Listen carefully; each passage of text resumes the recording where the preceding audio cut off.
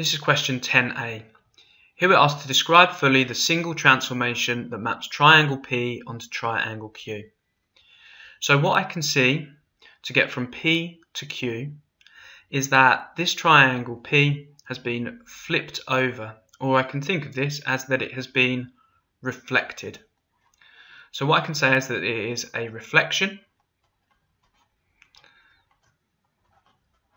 But then I also need to be say where has it been, what line has it been reflected in? What was the line of, uh, what is the uh, mirror line that has allowed me to get from P to Q?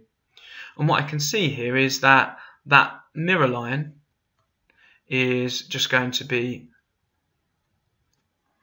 just there. Okay, I can then, once I've drawn that line in, I can just check, does that add up?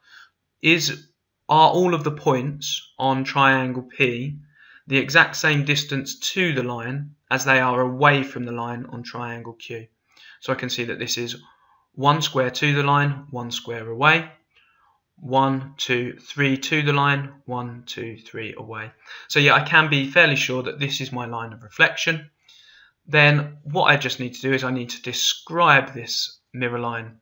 So it's a reflection in the line.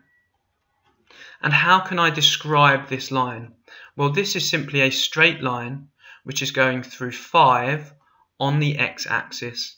And so it's a reflection in the line x equals 5.